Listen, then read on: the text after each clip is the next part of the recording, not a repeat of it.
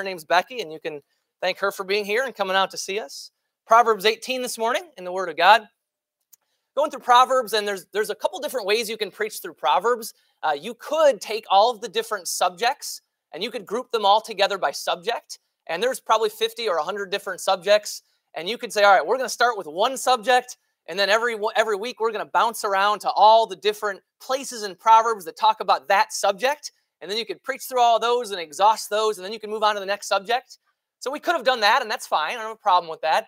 But I've kind of elected to just preach through them in order because God did put them in there in the order that He wants. Uh, and so uh, we're just sort of going through them sequentially. And so what that means is uh, rather than bouncing around through Proverbs, we're going sequentially through Proverbs, but we are bouncing around uh, on different subjects. And so uh, we'll we'll cover a subject in one uh, truth or principle that's given about a certain subject, and then we'll depart from that subject for a few months, and then it'll resurface, and we'll be back to uh, to hitting on a topic that we've already touched on previously. And, and so now we're returning this morning to the topic of friendship, the topic of friendship, and we did see uh, some truths about friendship in chapter 17, where we saw in the Word of God that uh, that a friend loveth at all times. And some of the surrounding verses there in chapter 17 give us some other uh, characteristics of a true friend. And, and God is so practical in His Word, and He gives us uh, help for just the practical side of life and being a friend.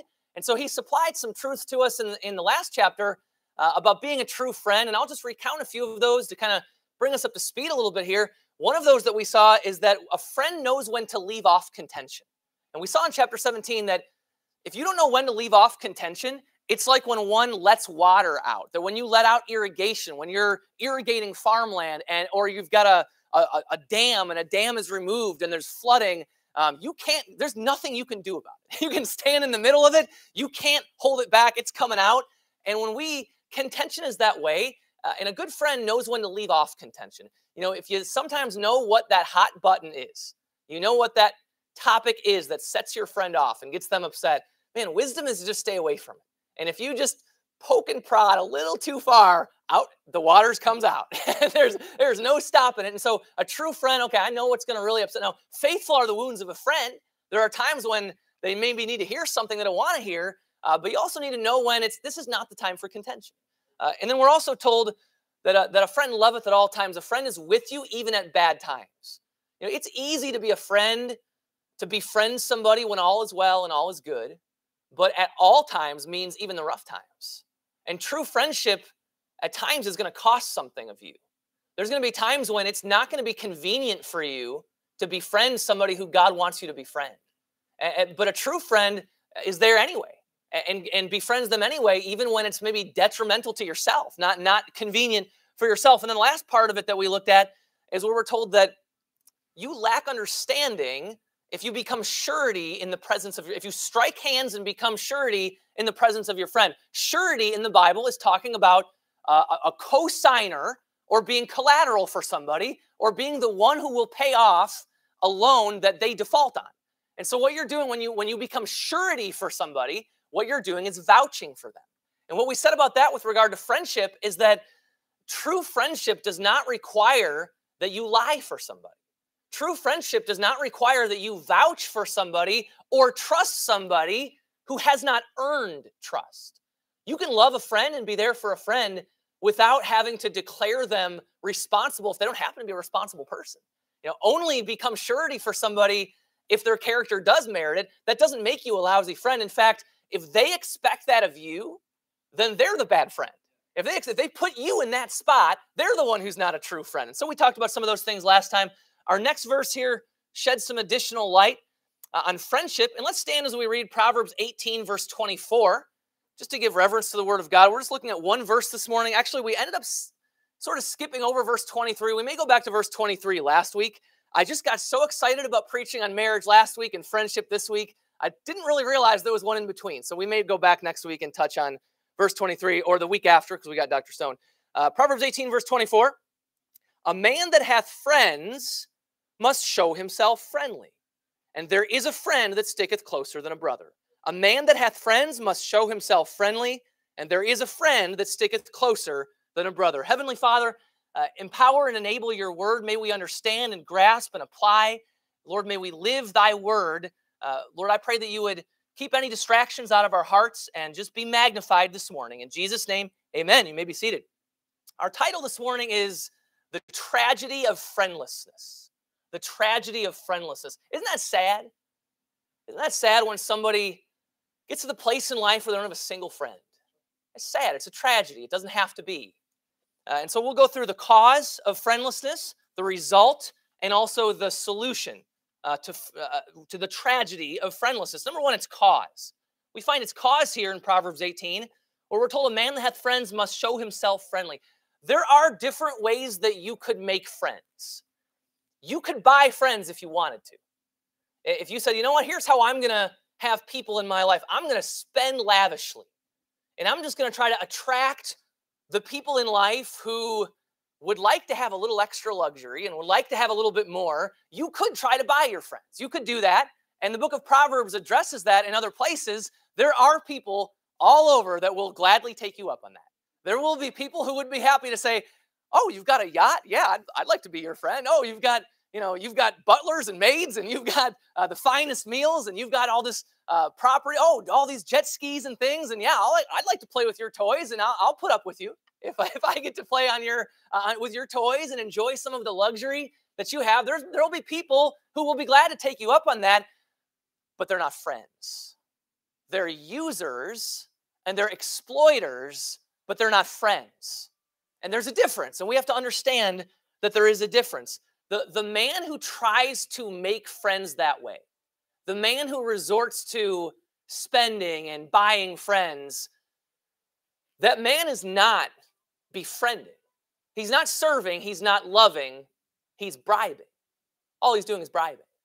And, and, and, that's not the kind of friendship that is pleasing to the Lord. God says that is not the way to have friends. The way to have friends is, is don't you love how simple Proverbs is? It's not rocket science, it's not complicated. The way to have friends is to show yourself friendly. Show yourself friendly. You can't just expect people to naturally gravitate toward you through no effort whatsoever on your own part. And so if you don't have friends, it's because you you haven't shown yourself friendly. And that means that it's preventable. That means it's unnecessary. It's needless. If you have uh, if you show yourself friendly, you'll have friends. If we're going to have friends, the bur- there's some burdens that fall on us. That means that we're going to have to learn how to take an interest in people. It means that we're going to have to learn how to initiate relationships. It means that we're going to have to learn how to seek people out on purpose and deliberately. It means that we're going to have to be proactive. That, that is how we can have friends, to show ourselves friendly. Uh, in our sin nature, we don't like that. In our sin nature, our first instinct is no, that's, too, I shouldn't have to show the effort. They should have to show the effort to me. why, why is it me that has to show the effort? Uh, we, when we get down on ourselves and we're prone to being discouraged, and, and at times in life we kind of look around and we say, man, I just feel kind of lonely. And I just, I kind of feel friendless and I, am not very popular and, and I'm, I'm unpopular. And, and it, we very easily want to blame that condition on everybody else. It's everybody else's fault that I'm friendless. It's everybody else's fault that I'm not popular. And what God, you know, it's their fault because they haven't reached out to me. That's our selfishness. And God, in God's word here, he says, no, it's your fault that you haven't reached out to them. That's why. You need to start reaching out to people and not just expecting that they'll reach out to you. We think we should get the easy part. We think we shouldn't have to exert the effort everybody else should. You know, sometimes it's tough to muster up the courage to approach somebody. And that's why we think, well, they they should have to have to muster the courage to approach me. I shouldn't have to have to muster the courage to approach them. And we just kind of think that that's how it works. But that's not exactly how things work here, uh, according to the Word of God. Um, you remember how in school, remember there was the in crowd? How many of you were part of the in crowd? not many. we're, we're a peculiar people, right? We weren't, we weren't part of the in crowd. Uh, and there was many reasons why people got to be included in that crowd. Uh, maybe they were attractive and good looking, and so it just was easy for them, and everyone wanted to be around them. Or maybe they had the right last name. You remember, pretty much no matter what school you went to, the, that certain family had the status in town, and if you were part of that family, you were one of the popular kids, or they had money and so they were buying their friends, or they were very good at sports or, or extra talented, or maybe they became in the in crowd because they were the class clown and they were kind of the rebel and and, and the other rebels appreciated that, that you know and and they kind of all got together and, and so that's how they become uh, that elite crowd or the in crowd and often what happens is many of the other kids who aren't don't get to be privileged to be part of that crowd wish that they were and they start to develop contempt for that crowd, not because of the immorality or not because of the superficiality. The contempt lies only in the, the envy and the desire to be one of them. And so they begin to lament uh, their, their lack of standing in that crowd. And, and, and when you begin to lament, you kind of start to stew on things. You, you become a little bit resentful. And often the, the, the group that didn't get to be among that top group will kind of say, well, they've got some nerve. You know, they, I mean, what am I? I'm not cool enough for them. I'm not good enough for them. And they, they don't even know my name. And I'm, I'm just invisible and, and they won't even talk to me and they won't even say hello to me. And you, I kind of want to say to them, have you ever said hello to them? Have you ever said hi to them? Have you ever, have you ever shown yourself friendly to them? Well, I, but if I did, they'd just make fun of me. How do you know that? Yeah, I mean, maybe they would but then you'll at least have tried you'll you'll at least have done your part and if they don't at least you'll have you'll have done that and, and the only reason i bring that up is because that scenario plays out the adult version of that scenario plays out all over society that plays out uh, on the streets in your neighborhood it plays out in your workplace even in churches that scenario plays out uh, and we've got to guard that so that we know we have done our part and so that we don't become the, the ones with contempt and the ones who have some resentment and the ones that are kind of stewing because we don't feel accepted. There are churches that there's this kind of cliquishness about them. And I've heard churches even in our area kind of bash, well, it's, it's real cliquey over there and they didn't really let me in. Well, if the church doesn't have a friendly spirit, then they need to listen to God. They need to fix that. However, sometimes it may appear cliquish in a church, but it may be because you went there two or three times and there's a bunch of people talking who are all served together in a ministry and they're talking about what they need to do to reach people for Christ. And there's some other people over here talking about uh, something that they're doing for the Lord. And it's it's not that they just haven't reached out to me. Maybe they just need you to reach out to them. And so before we really uh, get on cliquishness, maybe there's a reason for that. And, and so we just need to, to take that part on ourselves. The law of sowing and reaping is in effect with friendship. The law of sowing and reaping. You know, you we can't complain that I can't say nobody cares about me and nobody will listen to me if I'm not willing to care for somebody else and listen to somebody else. They're sowing and reaping.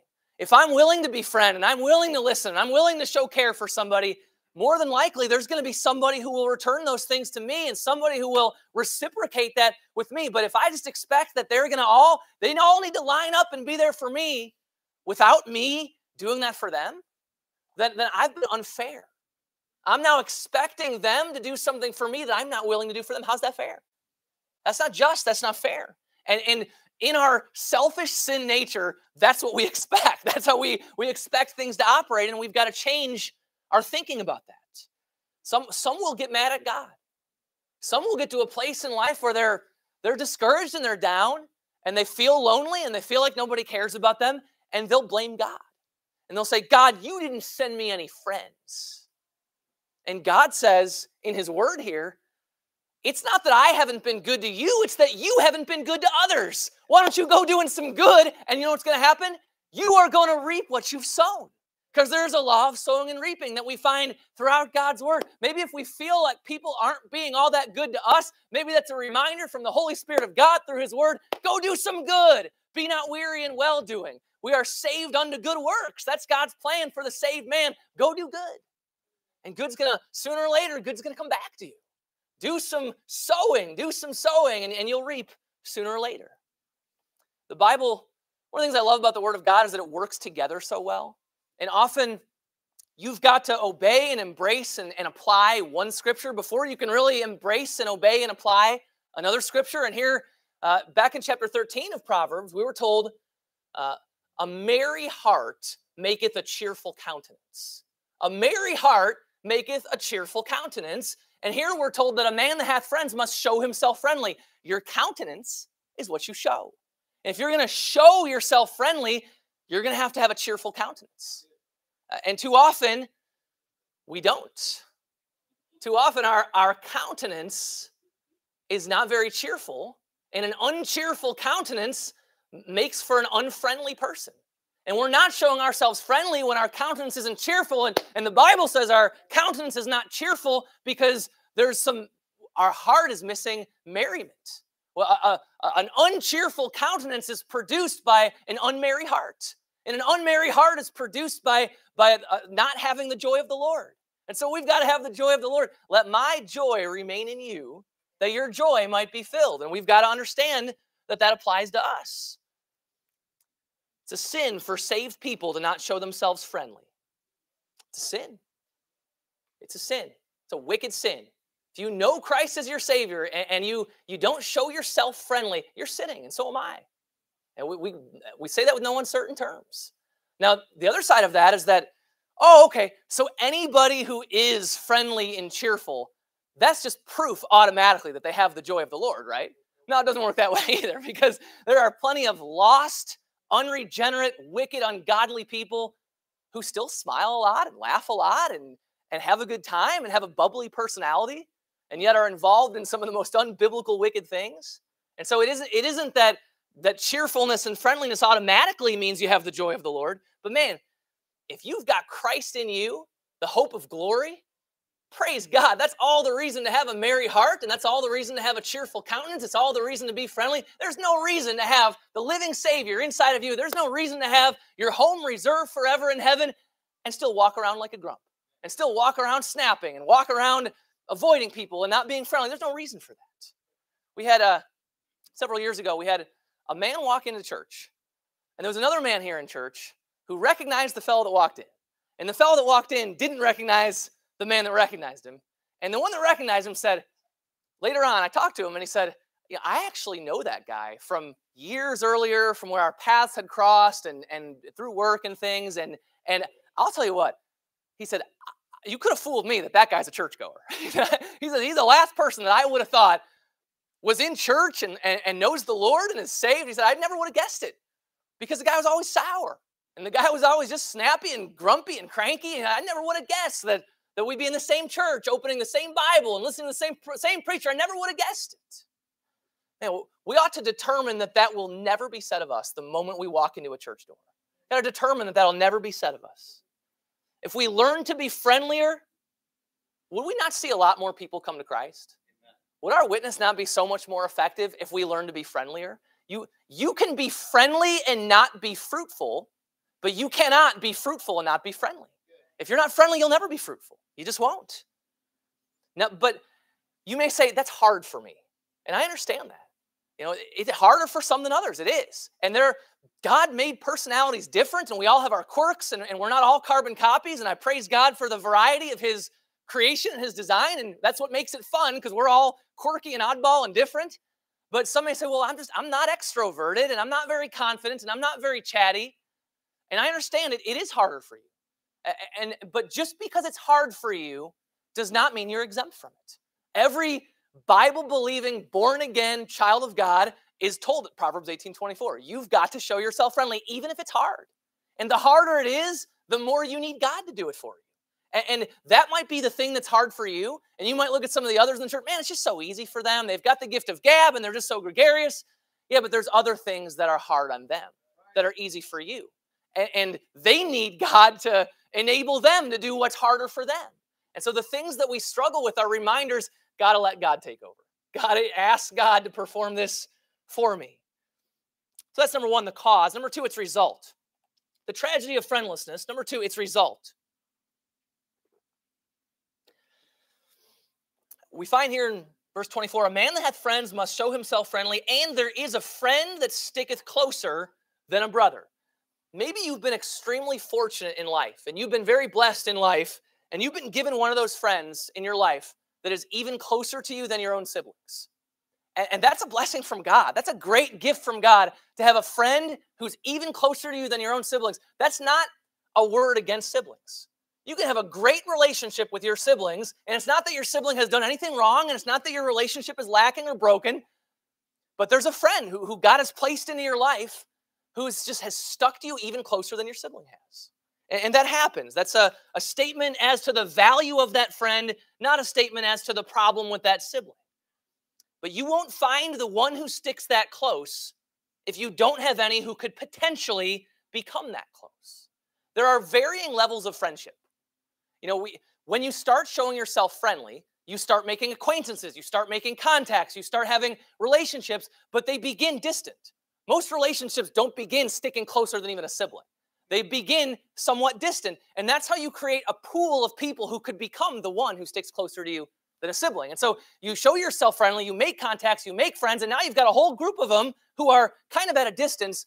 And then as time goes on, there's sort of a process of elimination that some kind of go away, but a few remain in your life over time.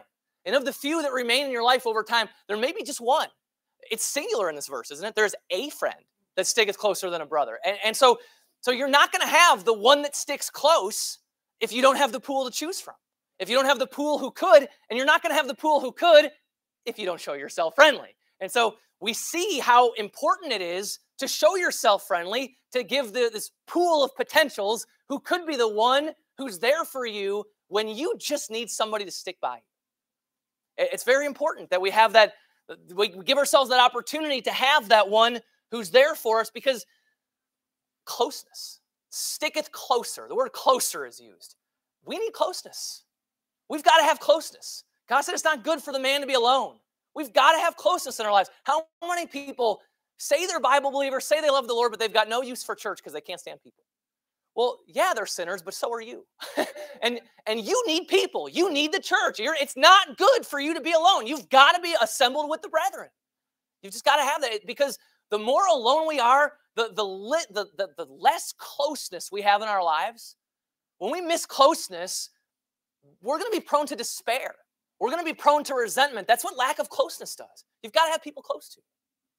We need that. God says that we need that. But even if we don't have someone who is that one friend that sticks closer than a brother to us, that doesn't mean we can't say, I, I still, even though I've got nobody that close to me, I still can be that for somebody else. Not that I'm competing with their sibling, not that I'm trying to wedge in and, and drive them away from their sibling so I can have that top spot, but I can be willing to be that close friend to somebody who needs that close friend. One of the things I love about this church, one of the things I love about you people, you, you friends, is that, man, I'm not preaching this thinking that this is something our church struggles with at all. This is such, there's people here, I'm going to tell you, if I, if I were no longer your pastor, if I messed up, if I did, went off the deep end, if I did something silly, if I, if I disqualified myself from being eligible to be your pastor, I know for sure that this room is filled with people who would still be my friend and would still love me. I praise, I praise God for you being a church like that. If some of you, if I were, I could think of 20 people, 30 people, I could call up and say, I know I've lost your respect. I know I've disappointed you. I just need a friend right now. Can we just get together? Can we just talk because I need a friend? I know for a fact there would be people in here that, that would say, Yeah, absolutely, I'll be there. I'm glad to help you. Let, let's keep being, God is blessing that spirit here. God is blessing that the bonds that were almost 11 years, they're getting stronger. Church, can you can you feel that? Can you sense that that the the togetherness that we have, it's growing. And our loyalty to one another, our willingness to to be there for one another and to stick close. It really is growing. It's great to see. It really is. And, and you are that way because you know that pleases God. And that's the right reason to be that way. You think about the maybe the best example, I'm sure the first example that would jump to your mind as a, as a Bible reader, as a, as, a, as a Bible enthusiast, is David and Jonathan. Probably the first example that we think of as a great friendship in the Bible. A friend that sticketh closer than a brother. Jonathan was far closer to David than any of David's brothers. In fact, David's brothers were a bunch of skunks anyway. Jonathan was just what David needed because his brothers didn't treat him very well. And so Jonathan became this great example of, of a true friend in the Bible who stuck even closer to David than David's own brothers did. And Jonathan, man, he was willing to, he was the heir. He was Saul's son. He, he should have been the next king had not God taken the kingdom from Saul. And so many, how many would have been bitter against the one who was going to get it anyway? But David loved, or Jonathan loved him anyway, even though that was the one that was going to take the spot that he could have had. Man, so many of us would have been just troubled by that and could not have spoken peaceably unto David. But Jonathan just recognized it was the doings of God and he wanted to please God. And, and Jonathan was to David just what David needed him to be. And when David was distressed and discouraged, who was it that strengthened his hand in God? It was Jonathan. God help us to be the friend that strengthens somebody's hand in God when they're distressed and discouraged. You can be that for somebody if we'll let God work in us.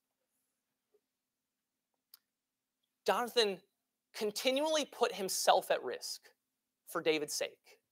Man, I appreciate Jonathan in the Bible. What a great care. He stuck close. Man, if you have a friend like that, if, you, if, you ha- if you're the David and you have a Jonathan, you're blessed, praise God.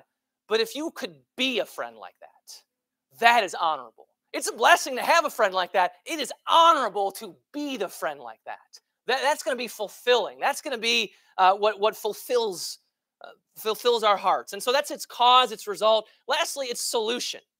Its solution. The tragedy of friendlessness. Number three, its solution. For this, we're going to turn over to John chapter 15. The solution to friendlessness. You just couldn't possibly talk about Proverbs 18:24 without turning to John 15. It's almost like like God gave Solomon Proverbs 18:24 knowing full well that a couple thousand years later he was going to give these words that we find here in John chapter 15 verses 13 to 15 because they just they just have to be understood together. They, the what we find here in John 15 is the purest and truest and fullest fulfillment of that of that one friend who sticketh closer than a brother. John 15 and verse 13, the Bible says, Greater love hath no man than this, that a man lay down his life for his friends. Ye are my friends if ye do whatsoever I command you. Henceforth I call you not servants, for the servant knoweth not what his Lord doeth, but I have called you friends. For all things that I have heard of my Father, I have made known unto you man, even if you don't have another friend in this world, you can have a friendship with the creator of this world who died on the cross and took, took the sin of every man, tasted death for every man, and had power to lay his life down for his friends, but he's the only one who had power to take it again forever, to secure everlasting life, and to offer it to you if you'll come to him and admit that you need everlasting life. If you'll, if you'll ask him to save your soul forever, you can have a friend Got it, but you got to be born again. You've got to be born again. Uh, you've got to know him. You've got to know him personally. And there are many who have called on his name, but he says, there's going to be some that have, have, have done all these things in my name, but I'm going to say unto them, Depart from me, I never knew you. Ye that work iniquity. Depart from me, I didn't know you. I didn't know you personally because you're not born again. You've never consciously asked me to save your soul for all eternity forever. And that's how you can have this faithful friend be called a friend of Jesus Christ. You've got to be born again. The, the Lord knoweth them that are His. Those that are not regenerated, those that have never, they're trusting in other things and they're adding to the gospel and they're believing a false gospel. He doesn't know them. But He does know them that are His. Second Timothy chapter 2 says, he, he, The Lord knoweth them that are his. He was wounded in the house of his friends, betrayed by one. Uh, what does the psalm say about Judas? In Psalm 41, mine own familiar friend who did eat of my bread. He's betrayed in the house of his friends. His own familiar friend betrayed him, and yet he had the grace and love to lay down his life for his friends. Even for the ones who betrayed him, it was offered. For every sinner, where sin hath abounded, grace hath much more abounded. The friendship with the Lord. God didn't have to offer his creatures friendship, but he did. Isn't that amazing? You know, it was rare in the Old Testament. Abraham was called the friend of God. Uh, Moses, we're told, the Lord spake unto Moses as a friend, as a, as, a, as a man speaketh unto his friend, but that was rare. They're the only ones that carried that distinction. But in the New Testament era, we find that everyone who comes to Jesus Christ receives the most faithful friend that they will ever have a friend who truly sticketh closer than a brother. And the interesting part is that Hebrews 2 says he's our brother too. He, he, he's our master, he's our Lord, he's our friend, he's our brother, but he'll never leave us nor forsake us. That's, that's close sticking right there. Never ever leave us, never ever forsake us. But you can only have that friendship with Christ if, if you come unto him and it's about Him alone, for your salvation from your sins. You, that friendship isn't offered if it's Christ plus baptism. That friendship isn't offered if it's Christ plus sacraments. That friendship isn't offered if it's Christ plus what some priest can do for you. It's not offered if it's Christ plus speaking in tongues or some or some weird demonstration of some kind of oddball thing. It's got to be Christ alone. Jesus by himself purged our sins. That's the only way to have that friend is to get everything else out. Lord Jesus, it is all about you. I need you to save my soul, and he'll save you directly. Not through a church, not through a sacrament, not through a priest, not through a baptism. It, there's one mediator between men and God, the man Christ Jesus. He is the advocate, Christ alone. Friendship with him enables us to show ourselves friendly. And he paid my price. He I could never in a million years pay my price. And he paid it for me for free. He gave me his righteousness, the most valuable, precious commodity uh, in all of the world and all of eternity. He gave it to me for free. Man, it's the very least I could do to smile and be cheerful and be friendly. Why in the world would I want to walk around frowning and scowling and avoiding people? When, I, when I'm saved forever, my price is paid. I'm going to heaven, no doubt about it. Sometimes we're unfriendly because we've still got hurts. Yeah, you're saved. Praise God. He bought you. But you've got your hurts and you've got your sorrows and you've got your disappointments. And sometimes the hurts and the sorrows and the disappointments cause us to kind of not really feel like being all that friendly to anybody right now. And that, that happens that we just don't feel like being friendly. But man, if you've got the one in you who's risen from the grave, he's the risen one. He'll rise above the sorrows, he'll rise above the hurts, he'll rise above the disappointments, and he'll he'll produce friendliness in you if you let him. He longs and desires to produce friendliness in you, to produce fruitfulness in you. We just need to let him. We just need to get ourselves out of the way. I must decrease and he must increase. Just because he has graciously called us his friends, however, doesn't mean that we can treat him like a buddy and a pal. It doesn't mean that we can be flippant with him. It's still, I still love our church name, Majesty Baptist, because honor and majesty are still before him. And so it's, well, I'm praise the Lord. He, he loved me enough to call me a friend, not just a servant, but that doesn't mean I'm not a servant. That doesn't mean he's just my buddy and my my uh, my coworker and just my pal. Uh, we can't we can't bring him down to our level because look at verse 14. Ye are my friends if ye do whatsoever I command you. So the friend relationship doesn't cancel out or undo the master servant relationship. Our relationship with our Lord and Savior is very multifaceted. He, he describes it a number of different ways. He's still our Lord and still our master, and he's also our friend. One doesn't come at the expense of the other, one doesn't kick the others out. And so, really, what he's getting at is verse 15, where he's saying that it's about his openness and his transparency. Look at, look at John 15, 15. Henceforth I call you not servants, for the servant knoweth not what his Lord doeth. But I have called you friends, for all things that I have heard of my Father, I have made known unto you. What he's getting at with regard to, to comparing his relationship with us to a friendship is he's saying, I've been open with you. I've been transparent with you. I haven't hid anything from you. I've been with the Father pre eternally, and everything I'm telling you, I'm not concealing the things that that, that are true. I haven't held anything back. And he uses a comparison to a workplace. You you, we've all had bosses who, because of the re- work relationship, it's a professional relationship. And I've had some bosses that have been friends, but I've had bosses that it's been strictly a professional relationship. And, and that kind of relationship, the boss has really no inclination to disclose intimate details of who he is or who, or who, her, who she is with her inferiors and with her employees or with his employees. But a friend does.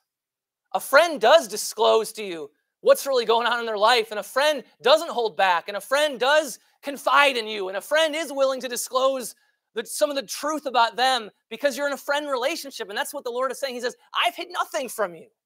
I have not uh, spoken to you in secret, he said elsewhere. I've gotten it all out there. I've told you exactly who I am. I've told you exactly where I'm from. I've told you exactly what my will is for you. I've told you exactly where I'm going. I've told you exactly what I want. I've told you exactly what I want to do in you. I've held nothing back from you. So the question then is why are we holding back from him? He holds nothing back from us. Why are we holding anything back from him?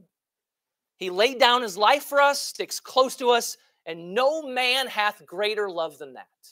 We talk, we quote that verse all the time when we have special military days and we honor soldiers. Man, greater love hath no man than this, that a man lay down his life for his friends.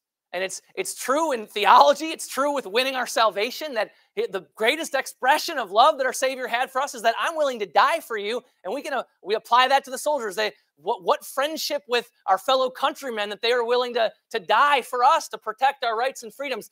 But man, what a think about 9-11 and man, you know, every 9/11 you can preach against Islam. That's a pretty easy sermon. Just every once a year we preach against Islam on 9/11. You know, but but think about the difference between false religion and biblical Christianity. Uh, Islam says if you lay down, the God of Islam, Allah says, if you lay down your life for me and you take out as many people as you can, innocent people on the way out, you might have a slightly better chance of getting to heaven and enjoying your carnal virgins in heaven.